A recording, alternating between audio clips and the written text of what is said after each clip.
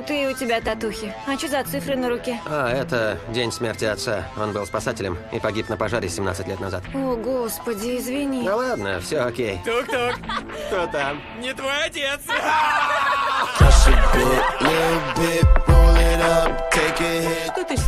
Возишься? Ему 24, дорогуша. Что выросло, то выросло. Гони его в шею. Не волнуйся, мам. Твоя дочь повзрослела, поумнела, поступила в колледж и бросила нас. Но я с тобой. Я буду с тобой всегда.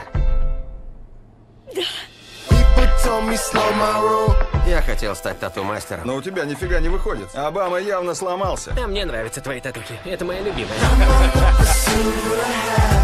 Понимаешь, я тут начала встречаться с одним человеком. Первый твой мужик за 17 лет тоже пожарный, как отец? Тебя ничего не смущает? Сделай хоть раз в жизни что-нибудь полезное. Отведи детей Рэя в школу. Келли, ты его знаешь? Он наш новый друг. Не бойся, мне ты можешь сказать. Все хорошо. Я ее натаскал, она не расколется.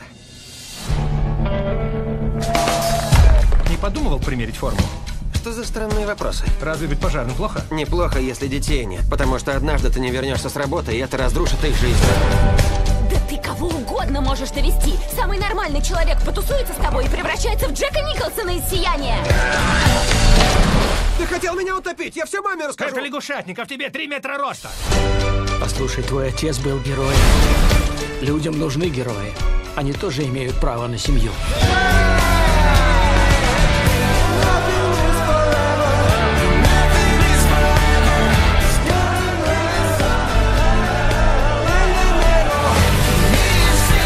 Пора уже взрослеть. Время летит быстро. Как думаешь, зачем я курю? Чтобы его притормозить?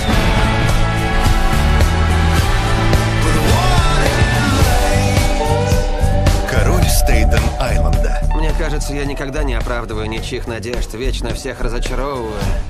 Спасибо, что выслушала. Хоть кто-то относится ко мне по-человечески. Всегда пожалуйста.